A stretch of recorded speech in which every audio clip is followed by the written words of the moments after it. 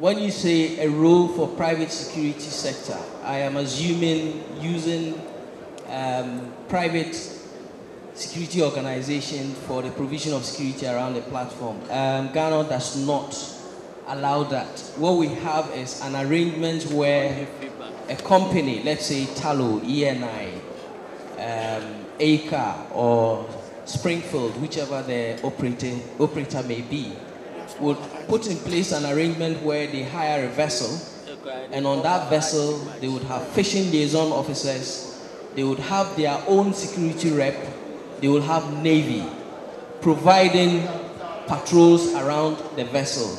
But I don't think we at this moment have put in place measures that would allow private entities, as, as they call them, private security organizations, to actually provide full-time service security around the vessels. Um, we don't have that, but there are arrangements to have company reps. They are not actually security men, but they are company reps that are on board with the fisheries people, with the Ghana Navy representatives. Um, different companies use deploy different uh, number of Navy personnel. I know Tullow would use six for each vessel.